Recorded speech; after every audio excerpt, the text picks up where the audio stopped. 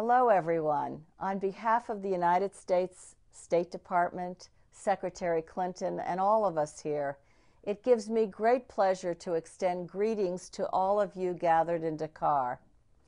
I truly wish that I were able to join you all in person because this is an issue with great consequence that all of you are working on, and it matters to all of us too, wherever we may live. I'd like to especially thank the Executive Director of Femme Afrique Solidarité, Bineta Diop, whom I have known and respected for many, many years. I agree with Time magazine that she surely deserves a place among the hundred most influential people in the world for her outstanding leadership on these issues that affect women so critically everywhere.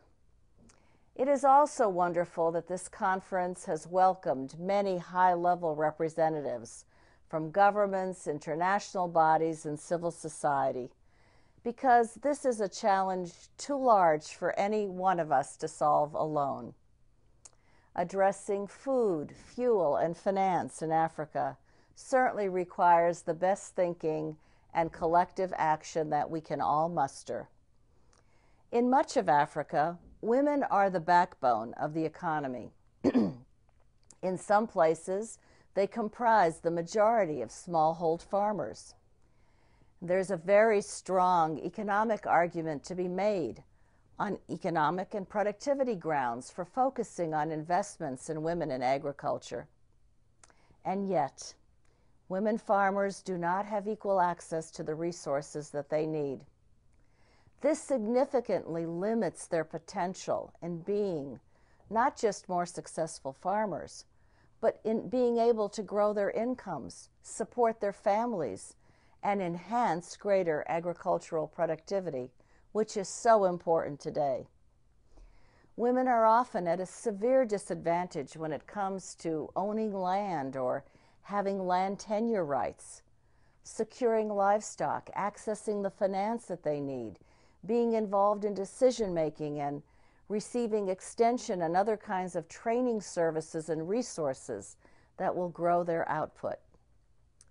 Secretary Clinton has described the harsh challenges that women farmers confront in too many places. As she said, she lives in a rural village and farms a piece of land that she does not own.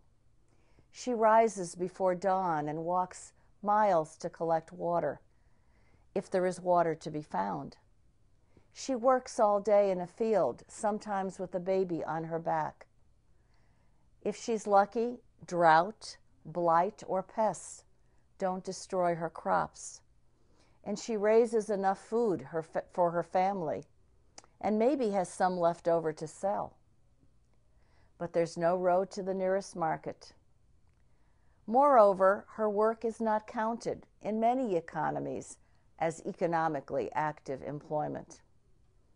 I know a little bit of that because several years ago, when I was traveling with then First Lady Hillary Clinton, a government official was with us, and he went on and on about how women in his country have no role in the country's economy. And Mrs. Clinton had heard enough. She stopped him, and we were riding in a van, and she said, Sir, as far as I can see, on one side and the other side, I see women bent over in the fields with their children on their backs, doing the farming, carrying wood, carrying water. If they all stopped, but for one day, your country would shut down. And that is the critical work that women do every day that needs to be respected and counted. The Food and Agricultural Organization, for the first time, devoted their annual State of Agriculture report to the vital role of women in agriculture. And data shows that when women are provided with equal resources, they can produce yields equal to those of men, if not more. Closing the gender gap and providing women with the same resources as men farmers could increase their individual yields by 20 to 30 percent. That would in turn improve agricultural production in many countries between 2.5 and 4 percent and reduce the number of undernourished people by 100 to 150 million globally. Now that's something to strive for. We know from the World Economic Forum's annual gender gap report that in countries that are closer to closing the gap between men and women on four metrics, including economic participation, those countries are more economically competitive and prosperous. So, gender equality is smart economics. I have seen firsthand how, with proper training and networking opportunities, women farmers have organized associations to promote greater productivity, successful markets, and effective advocacy for better policies and programs but we must all do our part to support them. Food security is a foreign policy priority for the United States.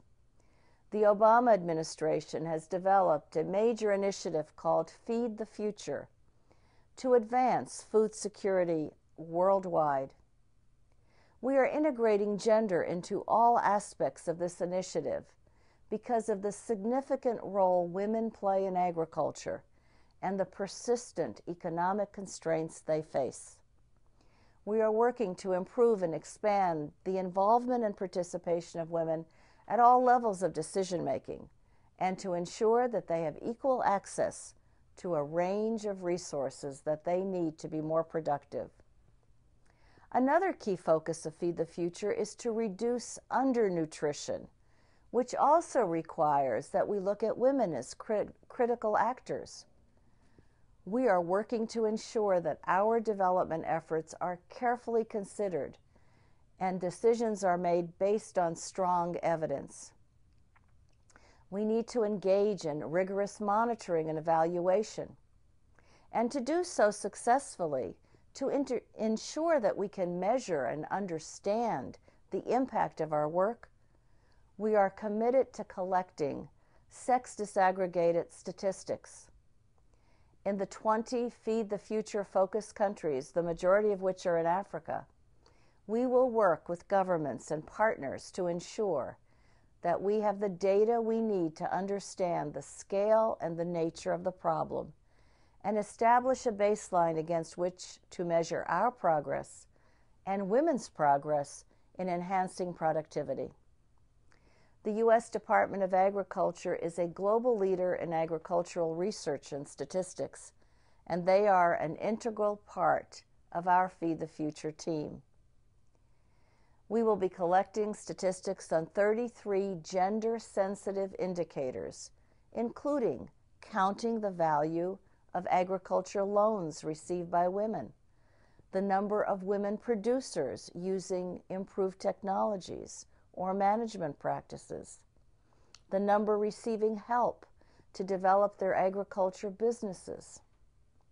Because by disaggregating data by sex, we will be able to effectively analyze the changes in the status, participation, and outcomes of investments in women relative to men in the agriculture sector. There is much we can do and must and much that we must do to enable women farmers to access the resources they need. Women farmers deserve nothing less.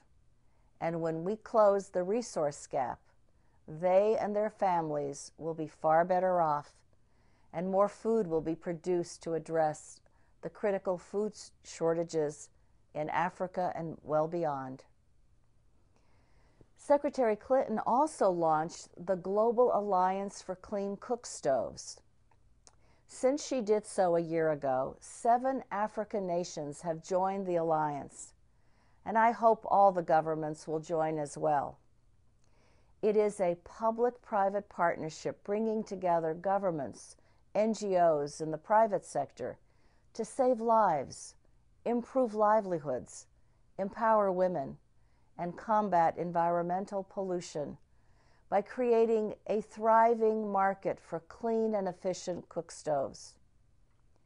Three billion people, most of them women, cook the same way they have for hundreds of years on an open fire or crude stove with solid fuels such as wood, crop residues, or coal.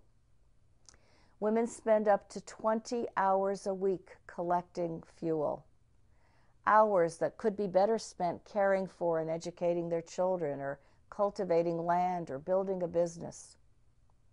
Moreover, these inefficient cook stoves create smoke conditions that cause an estimated 2 million deaths a year, most of them to mothers and young children. The Cook Stove Alliance has a goal of 100 by 20. 100 million homes adopting clean and efficient stoves and fuels by 2020. These technologies can reduce fuel consumption, which lessens the fuel collection burdens that women and girls face.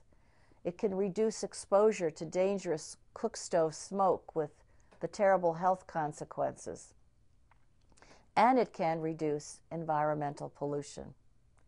So, building this market will also provide economic development opportunities for women who sell, distribute, or manufacture clean cook stoves. We hope that all nations represented here will become vital partners in the global alliance for clean cook stoves.